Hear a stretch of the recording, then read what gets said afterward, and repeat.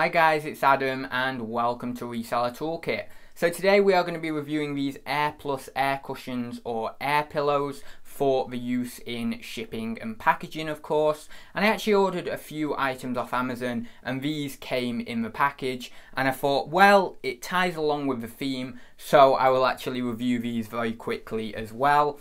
So these are made of I believe 50% yeah 50% uh, recyclable material however that line there doesn't really um, it doesn't it's not worded very well it says made of minimum 50% recycle doesn't really sound like a sentence that, but okay. Surely it should be made of minimum 50% recyclable material or something, I'm not sure.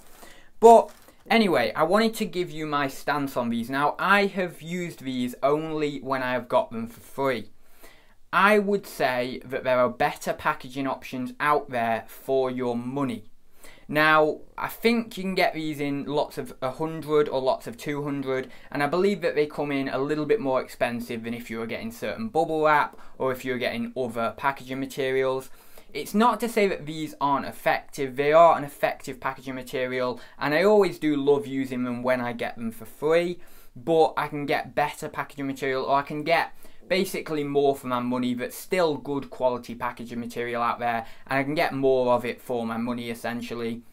Now, it's a good company, this Air Plus. There's a few different companies who do these, um, obviously, these air, air pillows. I'm sure there's many, many companies out there actually who do these air pillows. Um, but this is one of the better companies. This is one of the more well-known companies. The good thing about these is that you can actually tear them. So obviously I've teared this one away from this one here. And you may get them, I'm not sure because I've never actually bought them, but I'm assuming that you'll get them in one big long strip and then you will just tear them off as and when you need them. So the good thing is that you can tear them into you know, one or two or five of them or however many you need to fill a specific space, which is quite good.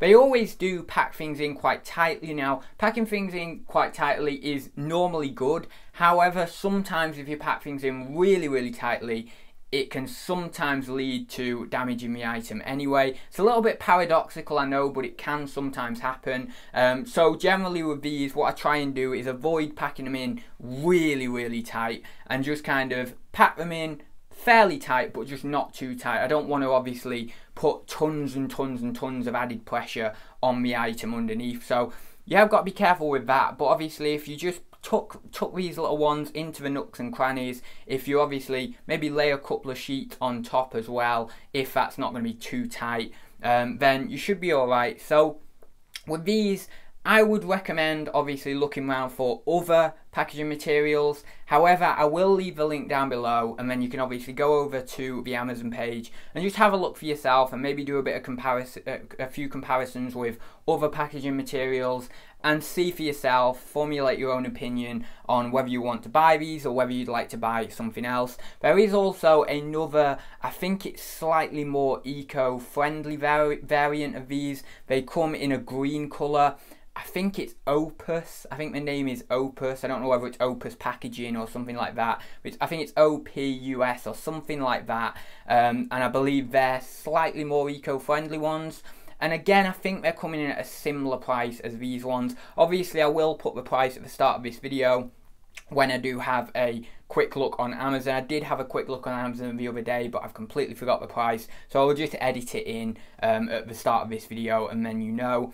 But yeah, you know, quite standard packaging material. If you don't want to be dealing with as much plastic in your business, for me personally, I'm not incredibly eco-friendly or anything like that. I am thinking about incorporating a few more eco-friendly items into my business, but I know there are a lot of people at the moment who are really on this eco-friendly buzz and uh, they want to get a lot more of a reduction in packaging uh, in plastic sorry. So if you are one of those people who really do want that then you may want to look at that opus uh, packaging or you may want to look at other um, methods of obviously being able to reduce your plastic. As i say these are 50% recyclable but that's obviously not going to be enough for, for, for a lot of people, so they will want more eco-friendly uh, stuff, obviously. So I will leave it there, guys. Thank you very much for joining me on this very brief review. Um, as always, any review suggestions are welcome. Just drop them down in the comments down below. If you did like it, then please do give it a like, and if you haven't already, please do subscribe to the channel.